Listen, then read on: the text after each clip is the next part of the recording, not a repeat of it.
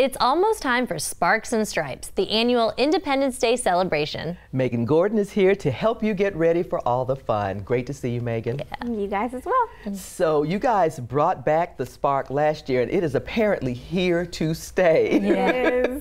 so excited about everything that's going to be going on that day. So let's start at the top. The parade at the at nine o'clock. Yep, 9 a.m. parade in the Heritage District. All right. Um, definitely going to be one to remember. I think we did a really great job as a community community last year of showing up um, and showing that Irving spark. Um, so looking forward to having all the applicants out again this year. Yay, applicants. Yes. I'll have to ask you, do you know how many entries we have so far? Um, we're about at 40. Okay. We would like to get our average to 60, 70, so oh. applications are due this week, um, oh. um, Friday at 5 p.m. So get those applications in now. All right, let's do it. yeah, get those in. So are there any activities planned after the parade?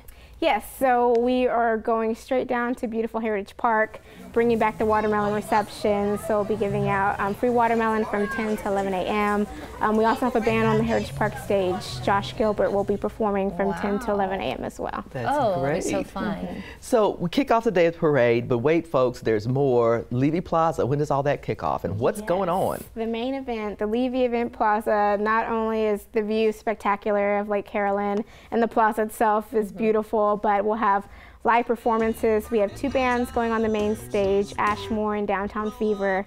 Um, we have a ton, about 25 food vendors, um, photo opportunities, um, drinks for the adults, um, face painting for the kids, just uh, rides for the kids, a whole oh. bunch of oh. fun from about 6 to um, 9.30ish and then the main event begins with um, our annual fireworks show, of course, and extremely happy to bring back our water show this year, which is going to be spectacular. I can't say that enough. I'm I haven't been this excited in a long time about something, so definitely come out for that.